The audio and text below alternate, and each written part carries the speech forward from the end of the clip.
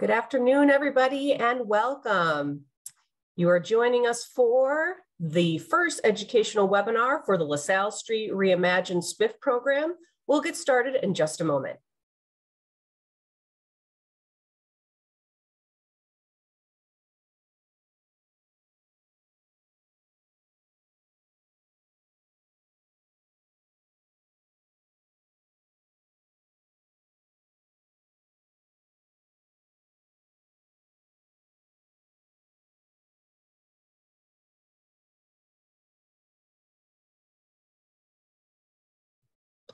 Good afternoon, everyone. Thank you so much for joining us for the LaSalle Street Reimagined SBIF rollout webinar. This is going to be the first in a series of three that we'll be doing, uh, talking about this program that opens in September.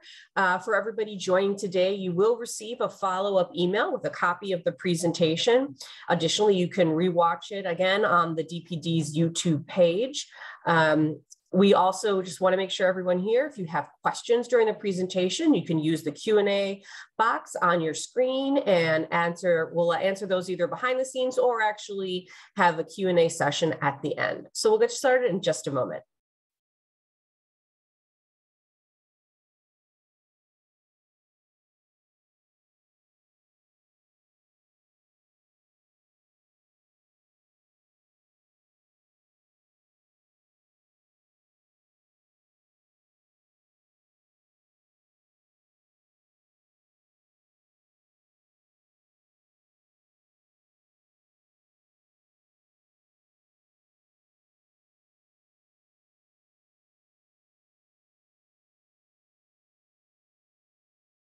All right.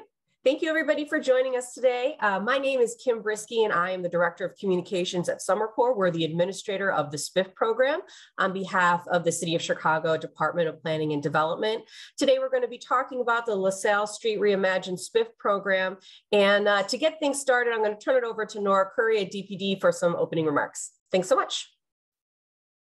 Thank you, Kimberly. As Kim said, my name is Nora Curry. I am the SBIF Program Director for the Department of Planning and Development at the City of Chicago.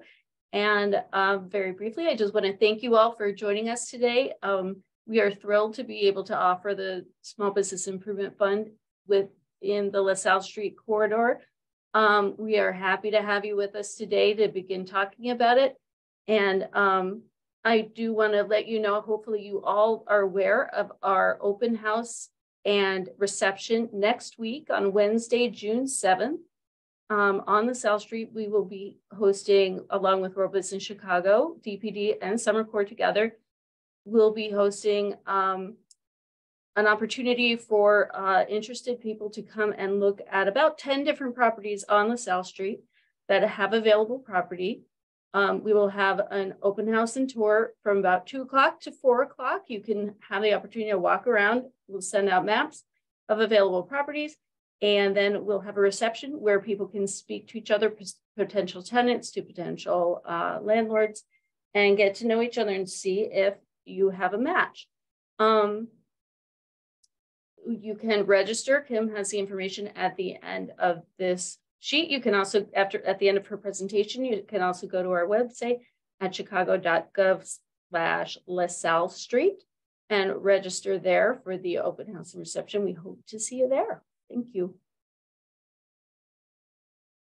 Awesome. Thanks so much, Nora. So again, uh, just a reminder for everybody, this uh, presentation today is focused on the LaSalle Street Reimagined SBIF program. That is actually not opening for new applications until September. So don't send anything today uh, if, after you hear the presentation. But um, our goal is to just make sure, because this is something new, that we give all of our small business applicants as much time as possible to be prepared. If you are interested in the regular SBIF program, which we have monthly presentations and rollouts for, specifically for those districts that are opening in June, we're going to have our standard webinar uh, next Wednesday as well. And um, we actually always post those uh, links to register for those at chicago.gov slash SBIF. You can find those there. Anybody participating today will receive a copy of this presentation via email afterwards. And feel free to put any questions in the Q&A box at the top of your screen. All right, let's get started. So today we're going to cover the following. First, just a quick rundown of what LaSalle Street Reimagined is. We'll talk about the basics of the SBIF program and specifically a little bit about how the LaSalle Street Reimagined SBIF area is going to work. Next, we'll cover some typical SBIF program FAQs and then some of the key dates uh, and next steps if you are interested in participating in the LaSalle Street Reimagined. And then we'll close out with a Q&A featuring the uh, director of the SBIF program at SomerCor, Sylvia Orozco. So the first question is, what is LaSalle Street Reimagined? Uh, my guess is you've heard quite a bit about this actually in the news in that uh, the city of Chicago is really working to try to revitalize this uh, downtown corridor in the loop. And uh, earlier this spring, there actually were three uh, actual buildings in the loop that are going to be reused and turned into mixed um, income housing units with city financial assistance. And as part of that initiative to really support those buildings on the ground level, the city of Chicago is investing $5 million in SBIF along that area of LaSalle. In terms of what actually is SBIF, it's been launched uh, in 1999 and SomerCor the entire time has been the administrator of this program. And it's an economic development program that provides small businesses and property owners with reimbursement grants to make permanent building improvements. Uh, residential projects are not eligible. The SBIF grant uses TIF financing to reimburse grantees for their pre-approved projects. Specifically for the LaSalle Reimagined TIF area, we have the map up here on the screen. And the first step to determine whether or not you're actually eligible to participate is geography. You can see here the bold lines of what buildings are eligible to participate in the SBIF grant program. If you're um, wondering if your property or the space you're looking at is eligible, you can use the SBIF locator tool, which we'll go into on the next slide. Please note that those other buildings that I mentioned earlier that are already receiving uh, other assistance through the LaSalle Street Reimagine initiative are not eligible to receive SBIF grant funding. So if you're interested to find out if the property you are looking at is in the LaSalle Street TIF district, or honestly in any TIF district, visit somercor.com slash sbif and click on option one. This will take you to the SBIF locator tool. There you put in your address. For the purposes of this demonstration, that's actually the SomerCor office, which is at 209 South LaSalle in the Rookery building. If you put that in there, you'll see that it actually is eligible on the LaSalle Street TIF and it is opening September of 2023 and the Chicago Loop Alliance is the delegate agency available to assist. I think the most important questions come to um, about the grant parameters are who is eligible to actually participate. Similar to the regular SBIF program, landlords can apply, property owners or owner operators, business owners that are tenants, and startups.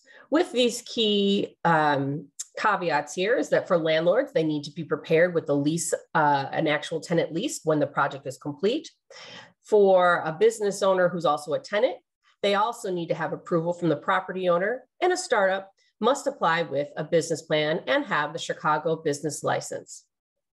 But here's the key point on this uh, participating in the SBIF program is that the applicant that you list on the application must either be the property owner or the lessee. And that is the person that is responsible for the management of the grant. The listed applicant is responsible for communicating with SomerCor, for paying for the work, submitting all the paperwork, and will be reimbursed, reimbursed when the project is complete. Applications cannot be submitted, managed, on the other entity's behalf. Applicants may not operate as their own general contractor. So again, just in summary, that if you are the one that's applying, you are the one who will be responsible for all of the uh, par parts of the program and be able to actually receive reimbursement. When we're talking about the grant parameters, the next question is how much in a grant financing are you able to receive? For a commercial single tenant property, it's the maximum is 250,000 per applicant. In the case of a commercial multi-tenant property, it's $250,000 maximum per applicant, a million maximum for the property. Additionally, and another $50,000 is available for business applicants that are expanding from a low to moderate income neighborhood. More information on that on the next slide. All applicants are eligible to be reimbursed for 90% of their total eligible project costs up to the grant maximum. So let's walk through this a little further. First, in regards to the extra $50,000 for businesses that are expanding from uh, low to moderate incomes communities, here is a map that we can also um, make sure that you have access to. It will be included in the presentation you receive. And this outlines all of the areas um, and communities that will be eligible for the additional $50,000. So let's go through a grant calculation. Let's say that Grace is submitting an application for a SBIF grant to open a second location of her restaurant on the LaSalle Street Reimagined Corridor. Her original restaurant is located in Armour Square. She has a lease agreement for her new property in the LaSalle Street SBIF area. The application has a total eligible project cost of $330,000. So let's walk through the calculation.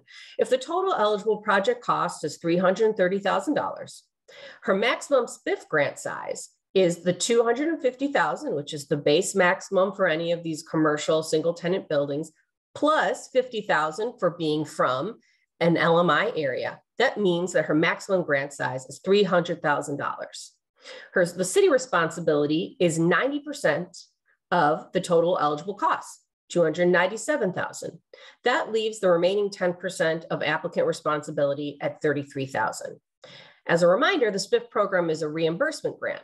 So project participants should be prepared with financing to support the permanent building improvements up front. So now we know sort of uh, the types of applicants that can apply. We know how much the financing can be for, but the next question is what type of businesses are eligible? When we're looking at those who cannot apply, we're talking about chains, franchise restaurants, liquor stores, nightclubs, adult use, places of worship, gas stations, things like that. This list is not comprehensive though, so if you're unsure, uh, feel free to reach out to SomerCor and we're happy to review your uh, business type. The next question is, how can you use these grant funds? The goal is to use them for permanent interior or exterior improvements on the ground floor or great hall levels of buildings. Let's, a couple of examples would be storefront and facade improvements, permanent interior renovation work, including fixtures, plumbing and electrical, alterations or structures for ADA compliance, certain architectural and construction management fees related to the SBIF approved project.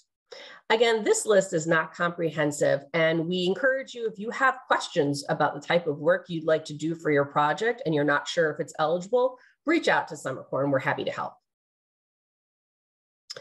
What kind of uh, improvement costs are ineligible for SBIF funding? This would be anything that's new construction, like additions, expansions, or ground up construction, any standalone minor repairs or cosmetic improvements, equipment related expenses, uh, planters, outdoor dining or dining areas like roof deck, beer gardens, outdoor patios, fencing, parking lot construction or repair, landscaping, or any work on the interior of residential units. Again, this list is not comprehensive and please note that property zoning may have additional restrictions. This is something that we uh, specifically may have to address with the LaSalle Street corridor.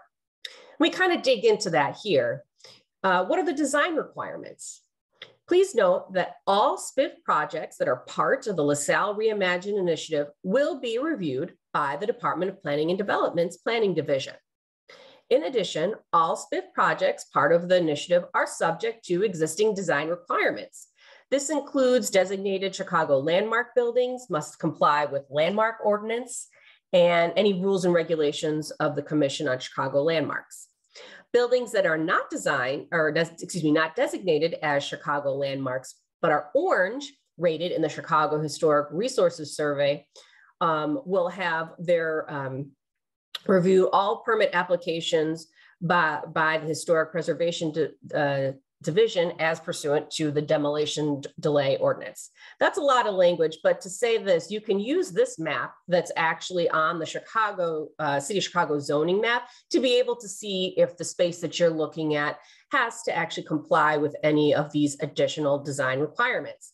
If that's the case and you have some questions, feel free to reach out to uh, SomerCor or DPD and we'll make sure we get you the information that you need as we're thinking about the SBIF program and, and specifically for the LaSalle Street Corridor pilot program, here are a couple of additional FAQs that should help you be prepared for applying in September. First question would be, what additional documents do you have on hand to submit along with your SBIF application? In September, you only need to apply with the three-page application that's pretty simple. But Quickly afterwards, you will be asked by your SomerCor project manager for additional information. That's going to include items like your tax return, proof of property ownership or your lease, um, if it's a startup for a business plan and projected incomes and expenses, items like this. So it's not required on the initial application form, but they a lot of them will be required not too far down the road. And in order to keep your project moving and on schedule, I encourage you to start collecting these documents now. Another question we'll, we'll often get are what are the financial requirements to participate in the SBIF program? It's important to note that the SBIF program is a reimbursement grant. So project participants should be prepared with financing to support the permanent building improvements upfront. While proof of financing is now required until stage three in the process, applicants are encouraged to contact their business lender or reach out to one of the lenders listed on the SomerCor website in a timely manner to be prepared when it is time to provide the proof of financing. We do have an option for grantees to actually complete their work in phases rather than requiring 100% of upfront costs of the project. Uh, applicants will receive approval for the full scope of work and constructions will actually be completed in phases based on contractor recommendations and necessity. The phase disbursements will be based on progress or completion of the work. As an example, let's say an applicant was approved for roof tear off, HVAC system, and installation of a new storefront under one application. Once the roof is done, then they can submit the paperwork and be reimbursed for that and then address the HVAC and then repeat the process for the storefront upgrades. If you are going to participate in the phase process, please be sure that you have uh, a full discussion with your SomerCor project management manager first, and then it's all spelled out so we're all on the same page. Are startups or new businesses eligible? Yes, they are. Um, you can apply, but you will again need to have your business plan and projections of the income and expenses for the first 36 months in operations. Um, and I think it's important to note that uh, we're not having any um, startup bars, taverns, or hotels, that any of those applicants must have already had their license and been in business for more than one calendar year. Will there be enough SBIF for all applicants? This is a great question. And in every case, when we're doing a SBIF um, rollout, it really is based on um, how much money is actually available. And if the demand for the SBIF funds is greater for those than those that actually, uh, excuse me, if the, if the, if the demand is higher than we actually have, a lottery will be conducted to determine the order in which each grant application will be accommodated. Uh, this is not a competitive grant. This is a, a grant where anybody is actually able to apply. And if they meet the standards, they will be able to participate. In the case of LaSalle Reimagined, we have $5 million in grant dollars available for this particular rollout. If you think that this sounds like a program that would work for you, the next question is, how do I apply? You can go to somercor.com slash sbif to download the application. You can see it here on the screen. And again, this is this, the, the simple three-page application that let, lets us know that you're interested in participating. And as long as you email it to sbif at somercor.com within the designated open period, we will accept your application. And to be clear, the acceptance period is between 9 a.m. on Friday, September 1st and 5 p.m. on Monday, October 2nd. Please do not send any applications before Friday, September 1st, they will not be accepted. And any applications received after 5 p.m. on Monday, October 2nd will not be accepted. Uh, for all of our purposes, just to make sure everything is time stamped, we, we ask you to first allow two business days for SomerCor to complete, uh, to confirm receipt, receipt of your application. But if you don't receive a confirmation, please send us another email or give us a call to uh, make sure that we have it on hand. Applicants are responsible for making sure their submissions are received within the open acceptance period. For those of you who are new to the SBIF program, here is a projected SBIF timeline if everything um, is moving exactly along uh, the, the time windows. We have first, you'll actually have your application date. And during that time, we'll afterwards, we will start the application eligibility review period. That's going to be up to 20 days.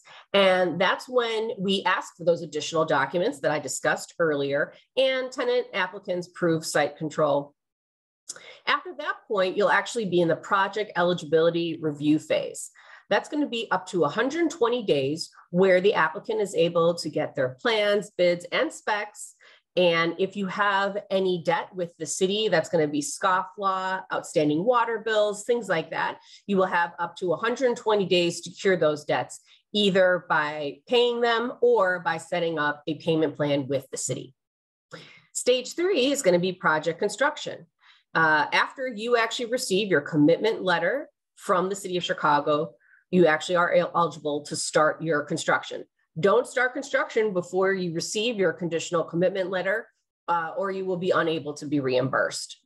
So you have up to 10 months to complete the construction on your project. 120 days into that 10 months, you will have to provide both your proof of financing as well as proof of permit uh, submission. Lastly, once your project is complete and SomerCor receives all of your paperwork and has done a final site visit, you will receive your reimbursement check within four to six weeks. If you're wondering what resources are available, we have quite a few that you are able to take advantage of. Again, at somercor.com slash sbif, here are some key resources that you can use to support your SBIF project. That's going to be things like basics design guidelines, a list of lenders who have previously worked on SBIF projects, a list of contractors that have previously worked on SBIF projects, and other technical assistance providers. Additionally, for the specific SBIF, uh, the LaSalle SBIF, we have some key partners that were able to assist. The Chicago Loop Alliance is the designated delegate agency for this um, application process, and they're a great place to start if you need assistance with your application. If you're trying to find a commercial space, feel free to reach out to World Business Chicago. I also encourage you to attend our uh, open house walking tour and reception on June 7th. And if you have other questions just about the SBIF program, you can reach out to us at SomerCor or to Nora at DPD. Most importantly, um, again, this will be sent to you via email, but just so you have sort of the timeline going forward, is that we will um, be very shortly having the real estate inventory on a website so that you can view that there. However, we encourage you to view it in person on June 7th with the registration link here. We're also going to have this webinar reproduced on June 27th and August 29th. So if you have additional questions after viewing the property, you're welcome to come and join us again. Or if you have any other friends and business owners who you think would be a good fit, invite them to participate. And then of course, the big date, September 1, is when the application period opens for the LaSalle Reimagined SBIF area. So at this time, I am going to pause and just remind everyone, if you have any questions about this program, about SBIF in general, about LaSalle Reimagined, feel free to put them now in the Q&A box on the screen. Uh, additionally, you will be receiving a copy of this presentation.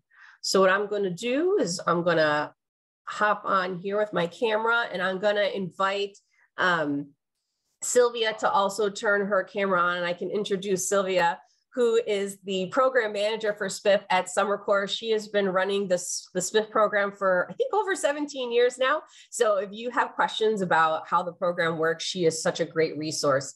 Um, Sylvia, I did want to start off with one question, which was we know that the city of Chicago has a lot of programs right now out there to support small businesses. Can you talk about if either the NOF grant, the SBIF grant, the Chicago Recovery Plan, how can they all work together uh, for any small businesses interested in applying? Sure, thank you, Ken. Um, so what happens is, you know, if someone's interested in, in applying for SBIF and other programs as well, unfortunately, they cannot combine the programs at the same time. SBIF does have the most restrictions based off of, you know, the ordinances compared to the NOF and also Chicago Recovery Plan. You can apply for all programs. NOF is geographically based as well, so keep that in mind. Um, but you can apply for the programs, but you cannot utilize both programs at the same time. Ultimately, what has to be done is you have to basically look into the program, see which one works best for you, and decide which program to pursue. That's great. I was going to say, would you mind digging a little bit further in about the conditional commitment letter, what sort of happens up to that point, and then what that means you can do going forward? I sort of glossed over that a section a little bit. Sure. So what happens is, you know, once you submit your application, you want to put in your wish list realistically, you know, what your plan is, what needs to be done. Um, if you are thinking, you know, maybe my HVAC system needs to, you know, be replaced in a few years, add that to your application. So once you start gathering your contractor's estimates, um, we we actually go by your approval based on the estimates from your contractors based off of their scope of work and their contract price. There's also a contingency depending on whether or not you're maxed out on the program. Contingency is included for cost overruns. Um, so basically, you have to know exactly what you need to have done, have your contractor's estimates. Your conditional commitment will be based on those items only. So if you are not approved for something, um, if there's unforeseen issues as construction is going on, you know, notify your your project manager right away and let them know if any changes need to be made. They need to be presented to us. We need to present it to DPD to make any changes if required, whether it's based on the approved scope of work or if it is based on an increased cost. We can increase your grant amounts if there's funding available, but it's very important that you know, you follow the guidelines, you communicate with your project manager to let them know what's going on so that we can help you transition, you know, from start to finish. That's really helpful. Um, so I've got a couple of questions here. Um, let's see if I have the map. Uh, of here's the actual, this is a better map actually. So I've had a couple questions here about, well, what if, um, what if uh, I'm looking at a particular property? First of all, the first question is how are we able to see which buildings would be a good fit? Again, I encourage you come on June 7th for the walking tour. I know somebody said, oh, we're not available on those days, and that's okay. While you may not be able to participate in the big walking tour, um, we will, again, in pretty short order, have the list of properties of folks that just that gave us their information and are posting it on the City of Chicago's website. But additionally, you do not are not necessarily limited to those properties that purposefully came to us and gave us their address and said we want to to be there. If the pro- property you're looking at is actually on the corridor that i have showing here you are eligible to apply uh, for that property. So it does not necessarily have to be one that's on the list. The one we're just trying to be able to bring as many people in um, as possible. Um, so I just want to make sure again, uh, come on June 7th if you can, and if you cannot, that's okay. Um, really just the key about whether or not your property is going to be eligible. The first step is going to be double checking the address to make sure it is in the LaSalle Reimagined corridor. Uh, Nora, did you have anything else that you wanted to add on that point? I don't think so. Awesome. Oh, yes. Thank okay, you. Great. Um, I was just going to say, um, as I, I, responded to the person who asked about being out of town, um, we will be putting the um, the listings of the folks who are sharing the um, at the who are giving tours at the open house next week. We will be putting that listing and the map online, and um, so if you miss it or if you do go and you don't catch people's contact information or anything like that, you'll be able to go to our website, find their information and reach out to them on your own and set up your own meeting with them, talk to them on the phone and see if um, you can make a deal. We do expect that this is not going to be the only time that um, people make these connections. There are pro- there may be other properties that people are interested in that are available, but they didn't uh, participate in this event. And in fact, we do know there is another property available that they're going to be on the website, but they're not participating in the open house. So um, there are going to be situations like that. So we definitely encourage you to do your own outreach, do your own research, and uh, work with folks. You're, you're not going to do everything that you need to do in this event. It's just an opportunity for people to um, to start the process to get out. And it's sort of a matchmaking. It's sort of a one of the a fast what did they use to call those things? Speed dating. dating. Speed dating. Yeah, yeah, it's a little bit of that to to get some energy up and bring people together. But it's it's not at all like you have to attend this event or you're never going to make a deal here. Not at all that. No. And honestly, that's why we're talking about this in June for something that opens in September um, mm-hmm. to try to encourage folks to take the opportunity to look. Um, and sort of on this line, Sylvia, is we had a question about so, uh, you know, how does it work with leasing the building and then actually doing the project? Like, are you actually already paying rent while you're there? I know that everything is always subject a little bit specifically to your actual lease, but can you talk about site control and how that plays into SBIF?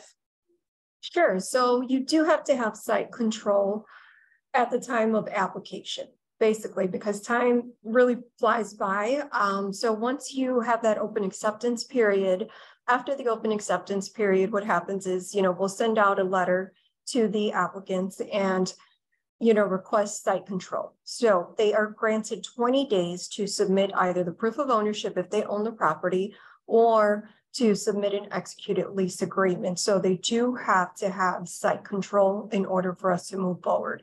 We do not keep an application active if they don't have site control. We do not provide conditional approvals for those that do not have site control either. Okay. Um, I'm just looking through here. Uh, looking through a contractor. Oh, another question is, so when you're actually applying, do you need to upload renderings or drawings on your application? Or at what point would you actually need to provide those? So after the initial stage of completing the application, if your business is deemed eligible to move forward, you will enter the second stage as we refer to it, which is the planning phase. So within this planning phase, you'll be granted 120 days to submit any architectural drawings, um, any renderings for signage, facade changes, things of that sort, along with at least two competitive estimates their contractors do have to have City of Chicago business licenses and certificates of insurance. I always encourage people to definitely reach out to more than two contractors. You definitely get the feel for, you know, how responsive they are, their knowledge, see the difference in pricing. You know, we want to make sure that you get the best deal for your money um, moving forward from there. Great. Uh, a specific question about multi-tenant applications. Does the building need to have separate pins or different addresses or can everyone just you know using that same address apply how does that work so you can submit an application for multi-tenant properties usually they are distinguished by a suite number um, so that's how we would distinguish each space you know if we get multiple applications for one property you know we'd have to communicate with the applicants and understand exactly where their space of occupancy will be Okay. I have somebody here who actually is super excited to move in on the LaSalle Street corridor. They're actually getting ready to sign a lease very shortly, but are they allowed to start their construction now before applying on September 1 and then be reimbursed by the program? Unfortunately, not. If you can hold off, I would say hold off. If you want to be reimbursed through the SBIF program, hold off. Otherwise, anything that is paid for or any construction that has begun before you receive your conditional commitment letter will not be eligible for reimbursement.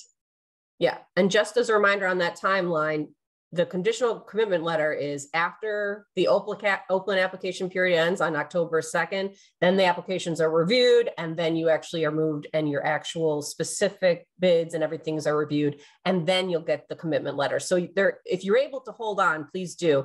And the faster and the more uh, you have your documentation together, Sylvia, that will really help you move through the program faster to be able to get things started. So, um, right. So I think let's see. So we had a question specifically about, um, so once you actually receive your commitment letter, does that mean that that is the amount of funding that you'll be able to grant funding that you'll be reimbursed for? Could there be other things like more people wanting to apply that impact your grant amount once you receive the conditional commitment letter? So once you receive a conditional commitment letter, your funding is tied to your project. So that's a commitment from the city. As long as you abide by the program rules, guidelines, and things of that sort, that money is specifically reserved for your project. So if you're able to get funding, you know, great. Um, you know, as long as you abide by the rules, we will hold that money. So we won't, you know, have someone else grab those funds that are already reserved. That's very helpful. Um, I think I think somebody was asking, so like, how could could funds actually run out? And I think I, I covered earlier um, that that it's five million dollars is actually set aside for this rollout, which I don't know if we've ever done one that's that that big. Nor you probably know historically better than me. Um, but you know, maybe you can talk a little bit about sort of um, you know, do we you know how the support for the program could impact, um, you know, going forward if we do really have a very popular interest uh, in this application period. Sure. So if we do have a very popular interest and the request for funding exceeds $5 million, we will conduct a lottery. It will be live. Applicants will be invited to view it. We basically do a randomized draw process. Each application that is received will be part of this draw. And it's basically on an Excel sheet it automatically randomizes um, the applications, and that is the order in which the applications are processed. So those will be processed based on their estimated cost until we don't have any funding available. So at that point, there's a project that may be either underfunded or applications may be placed on the waitlist. That waitlist will be active for 24 months if someone doesn't qualify, if someone doesn't meet their deadlines, happens to be removed, that money goes back into the pot and we go down the draw order list in the order that it was drawn. All right, I don't see any other questions right now. Um, Nora, is there anything um, that you wanted to add or talk about? Yeah, I would like to, there was somebody who asked about um, what buildings were available or, you know, where the area where it was available. I know you talked about the eligible area. I did want to share if I can. Oh yeah, do you need me to stop share perhaps? Uh, let me see if I can do it. Oh goodness, my Zoom skills after using the other system. I'll stop, I'm gonna stop share for one second. Oh, share screen, there we go. Excellent. Um, I just wanted to pull up Oh my goodness, something is happening with my screen. Yeah. oh goodness, what is happening with my screen? Oh dear. Sorry, everybody. I may not be able to show this. Do you want to try double clicking on the image name again and see if it pops? Because I see right now it's highlighted, but. Huh. Well, that's interesting. Sorry, people. Um, I'm going to stop sharing for a minute because nobody needs to look at that. what I'm trying to show you is the 10 properties who have that have RSVP'd for our event. Um, let me do this. Uh, there. Managed to take things out here. Um, so that people will know um, if they want to come next week, which properties they would get to see. Um, I'm going to reopen them for y'all and then reshare. Um, and as I said, it doesn't mean that that's the only thing that you might be able to see, but or that might that is available in the area, but it is what we will be showing people. I'm still being super weird. What is happening on my screen? Okay, I think this might work this time. There we go. Kim, can you see my map? I can see your map. Great. Okay. Um, so what you're seeing here is the same map Kim showed you already. Um, the eligible area is the black line um, that surrounds the district. And then the red dots are the properties that will be participating in our open house tour. Um, next week, again, um, you can have a, a, a, project in any of the buildings within this black boundary. Um, these are simply the ones that have available property where there will be real estate representatives um, at the property um, on the date and they will be able to show it. And I actually, I should correct myself. You can have uh, projects on any building in the in the area with the exception of those buildings that are already receiving um, city incentives to do um, larger projects. I believe there are five other projects going on where the city is investing a large amount of tax increment financing and potentially other funding to um, to rehab the entire building. And in those cases, we have, as Sylvia or Kim mentioned, um, we have to reduce our grant amount because of other city funding that's being invested there. So in those cases, we cannot give a SBIF grant. So those buildings are going to be excluded, but those are only five out of the many buildings in that area. And um, so most of the other buildings there are going to be eligible. And uh, as a reminder, the recept so the open house portion, the walking tours between two and four, and between four and six is the actual reception, and that will be at the Rookery Building, um, which is also has space available on the first floor uh, for somebody if they're interested. Right, and please um, go ahead and go to our website to register for that. Um, that's at city, um, I'm sorry, uh, chicago.gov slash LaSalle Street. Great. Um, again, I don't think. Okay, so somebody asked, are any of these properties selected for residential uh, conversion and how will this impact things? So that that is sort of what we just covered here is a lot of those buildings that are ineligible for SBIF, there is part of the money is going towards residential conversion, and therefore are not eligible to participate in SBIF. So I think that answered that question. All right, Nora, do you have anything else or Sylvia, anything else you want to add at this point? No, I think we covered everything at this point. Thank you. Thank you all for joining us today. Thanks, everyone. We hope to see you on June 7th. And if you have additional questions after you learn a little bit more about the program, feel free to join us for any of our uh, subsequent webinars. Thank you so much.